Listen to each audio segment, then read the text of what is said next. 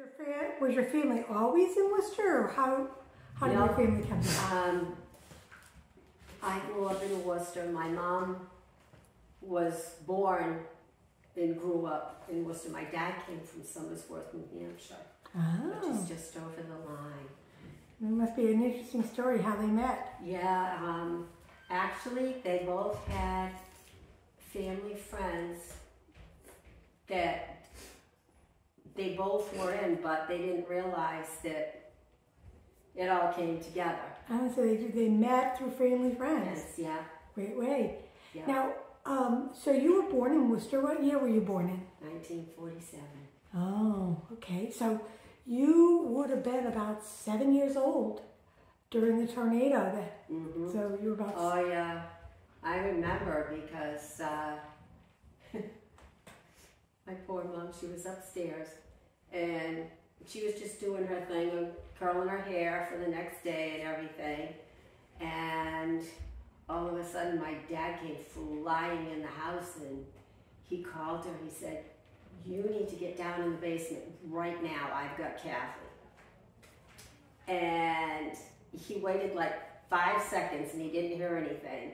She goes, Well, I need to fix it. He says, You're not going to have any hair left on your head if you don't get down cellar. So it's very important for you to come down right now. And he didn't tell her what it was.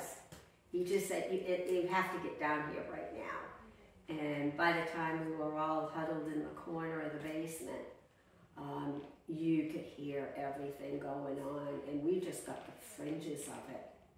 Okay, now where was your house? In I lived at um, 28 Plummer Park. okay, here. Uh, it's like when you go through the main intersection, you can go straight, and Providence Road runs this way, hmm and then this road goes further over to a- another town. But we were right off the very first turn, and it was a housing development that actually just kind of grew and grew. But we had like this horseshoe road, and we were on a dead end street, uh, which was nice because we never had cars going by all the time. And we were um, getting ready for supper. And you could see all these clouds coming and everything. And my dad says, Oh, he says, I better batten down the hatch. Not really knowing that there was a tornado coming at that particular moment. But by the time he got finished, everything in the yard was blowing around, the leaves were everywhere on these beautiful green trees, the winds were coming. And so a lot of things were getting shaken out of the trees and down onto the lawn. And he just happened to go around the corner to grab me. He says, It's time to come in, it's getting pretty bad here. And he looked up and he went, Oh no. And he picked me up. I never entered a home so fast in my life. And my mom was upstairs curling her hair, getting ready for tomorrow, putting in the rollers. And my dad said, Lydia, you need to come down right now. Well, I'm almost done my hair. And he said to her, You're not going to have any hair in your head if you don't get down here. And she went, Oh, like that. And we got down into the basement. And it was a full basement, concrete and everything. So it was a good place to be. But then all of a sudden you could just hear everything just blowing around. And if sticks came by and they hit the house, you heard that. Um, and that lasted, I bet, probably for a good maybe two minutes. Mm-hmm. And my dad went out when it was quiet, and you could see everything moving away from us and going towards uh, Rockdale. And then it went around, I guess, and came back uh, into Worcester again for Wow. a short time.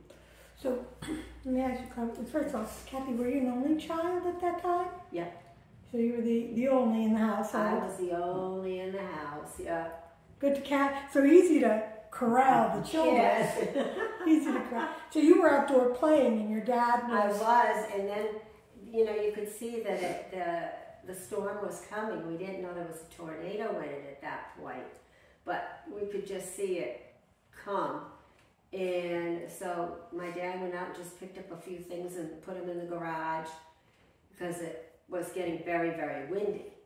And he said, Boy, this could be a bad storm, you know, Mhm. not knowing. And then he said, Okay, he said, You can sit right here on the front steps and I will be right back to get you. And when he turned around, that's when he saw the tornado literally approaching. and I was out the front steps. Boy, I got picked up in the house so fast it wasn't funny. And I mean, I was like about preschool, kin- well, early elementary school. Early elementary. And um,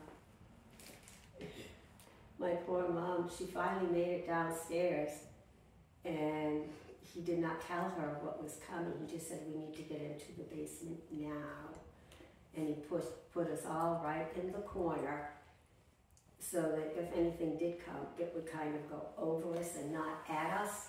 So, what did your dad do for a living? My dad worked at Whitin Machine Works, all textile machinery that they built, and then they would send it down into the Carolinas for the companies down there to set up so they could produce yard goods and all kinds of different things. Um, But the reason I ask is he thought so quickly. A lot of people, probably people wouldn't have known what to do. My was dad, just you know what, my dad was like that. The whole family was like that. They grew up with, I call it cures for any ailment. self-sufficiency. Self, totally self-sufficient. After the after the you guys come up out of the basement, do you remember going outside? Did your dad let you oh, go outside? My dad went out first, and we waited like a minute, and he came back said, "Well, he said it was quite a storm." And of course, I wanted to pop right out in it, and my mother said, "What do you mean it was quite a storm?" And so we came up from the cellar. My dad had put in this, I don't know what he made, the, it opened up all the way. There were stairs in it, Mhm. but it was opened up wide so that bigger things could get put into the basement. Right. So he engineered all of that and poured his concrete, did the whole thing. So we were pretty well insulated. We were all below ground when it happened. And when he came out, he, he, you could hear him go, like, you know, oh my gosh. And so then he came to get us. He, he just suggested that we just stay on the sidewalks because we don't know what was in there. Oh gosh, it, looked like most of the trees had lost 50% of their leaves because everything was just blown all over. Um, and so then he went and he turned on the television and the radio, and the first thing he heard was the tornado had gone through, and they were giving the route of how it traveled. Mm-hmm. He said, "Oh my gosh!" He says that missed our house by maybe about a thousand feet. Wow. It came that close, but as soon as it did, it veered off and uh, went in the Grafton area, I think. So very. I mean, one of the things that I, as I do these interviews, Yeah. people talked about just the sheer randomness. Mm-hmm. The Out sheer- of the blue, it just appeared and then it disappeared. and and your house is spared, and somebody a few streets away, their house isn't. Yeah, that's We So were, we were pretty lucky. I was down in the Plummer Park area, which is more away from all the traffic and everything. And it was a good area, plus there were also a lot of areas that you could go to if you did need protection. mm-hmm, That was one thing about it that was really nice. And all the neighbors were super close. Now- Um, I, I also remember you said you weren't going to St. Michael's at that time, but Right. you were an Episcopalian, or Yeah, I went to Trinity Episcopal Church in in uh, in, in Whitinsville. Yeah, Yeah. it was in Whitinsville. Okay. It's been a long time. I know the church is still there, the church is still functioning. Um, so, do you? One of the things that is a big part of the story of this church Mhm. is how all the other churches started helping Mhm. as soon as they heard that St. Michael's. Yes. I, I remember being in church, what, what they did when I was young, everybody went to the first half hour, which was like the main service. And then there were other things that would happen in the church, special information, meetings, or whatever. And during that time, all of the children went to Sunday school classrooms. And so they did they did have um, areas for people at the time who were in the church that day. There were plenty of places to take refuge. Plus they had a full in-ground cellar Mm-hmm. thing. So, you know, that was a blessing right there. Mm-hmm. Uh, but a lot of places didn't fare so well. No. There were some places you could see half the house was gone. Now, do you do you remember if your church raised helped raise money for St. Michael's? You know, they probably did, but I was so young at that point, I wasn't paying attention. Yeah. But I know that there was a lot of help, and I remember seeing baskets starting to fill up at the church um, for anybody who needed anything. And if they knew of anybody who needed something, then make sure you take it. Um, you know, and that's what they did.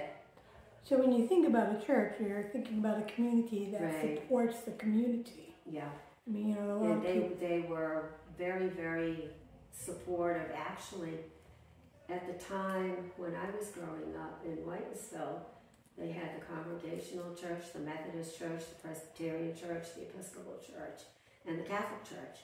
And anytime there was any big thing, uh, regardless of who came from what church, the churches would all band together. They, they were always about the community.